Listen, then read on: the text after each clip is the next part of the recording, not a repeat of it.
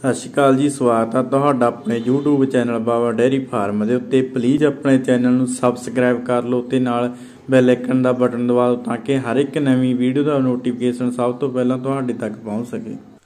ਹਾਂਜੀ, ਅੱਜ ਆਪਾਂ ਵੀਡੀਓ ਵਿੱਚ ਜਰਸੀ ਵੈੜ ਬਾਰੇ ਗੱਲ ਕਰਾਂਗੇ ਜੀ। ਜਰਸੀ ਵੈੜ ਆ ਜੀ, ਦੂਜੇ ਸੂਏ ਸੂਣ ਵਾਲੀ ਹੈ ਜੀ। ਸੂਣ ਦੇ ਵਿੱਚ 20 ਤੋਂ 21 ਦਿਨ ਬਾਕੀ ਰਹਿੰਦੇ ਨੇ ਜੀ।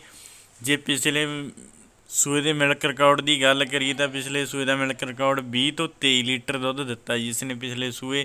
ਬਾਕੀ ਤੁਸੀਂ ਦੋਸਤੋ ਵੀਡੀਓ ਵਿੱਚ ਹਵਾਨਾ ਦੇਖ ਸਕਦੇ ਹੋ ਜੀ, ਕੱਦ ਘਾਟ ਦੇਖ ਸਕਦੇ ਹੋ ਜੀ, ਬਹੁਤ ਹੀ ਵਧੀਆ ਜਰਸੀ ਵੈੜ ਆ ਜੀ, ਬਹੁਤ ਹੀ ਠੰਡੀ ਸੀਲ ਆ ਜੀ।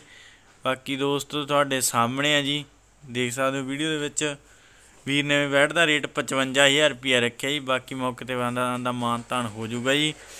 ਵੀਰ ਦਾ ਪਿੰਡ ਛੰਨਾ ਗੁਲਾਬ ਸਿੰਘ ਵਾਲਾ ਜੀ, ਜ਼ਿਲ੍ਹਾ ਇਸ ਨੂੰ ਬਰਨਾਲਾ ਪੈ ਜਾਂਦਾ ਜੀ। ਵੀਰ ਦਾ ਕੰਟੈਕਟ ਨੰਬਰ ਨੋਟ ਕਰ ਲਓ ਜੀ 98720 76012 ਇੱਕ ਵਾਰੀ ਫੇਰ ਨੋਟ ਕਰ ਲਓ ਜੀ 98720 76012 ਇਹ ਵੀਰ ਦਾ ਕੰਟੈਕਟ ਨੰਬਰ ਹੈ ਜੀ। ਜੇ ਮੇਰੇ ਕਿਸੇ ਵੀਰ ਨੂੰ ਇਹ ਬੈਡ ਪਸੰਦ ਹੋਵੇ ਤਾਂ ਉਹ ਵੀਰ ਨਾਲ ਕੰਟੈਕਟ ਕਰਕੇ ਬੈਡ ਨੂੰ ਖਰੀਦ ਸਕਦਾ ਜੀ। ਵੀਡੀਓ ਨੂੰ ਸ਼ੇਅਰ ਤੇ ਲਾਈਕ ਜਰੂਰ ਕਰ ਦਿਆ ਕਰੋ ਜੀ ਤੇ ਕਮੈਂਟ ਕਰਕੇ ਦੱਸਿਆ ਕਰੋ ਵੀਡੀਓ ਕਿਵੇਂ ਲੱਗੀ ਜੀ। ਵੀਡੀਓ ਨੂੰ ਵੇਖਣ ਲਈ ਸਾਰੇ ਵੀਰਾਂ ਦਾ ਤਹਿ ਦਿਲੋਂ ਧੰਨਵਾਦ। ਥੈਂਕ ਯੂ ਵੈਰੀ ਮੱਚ ਜੀ।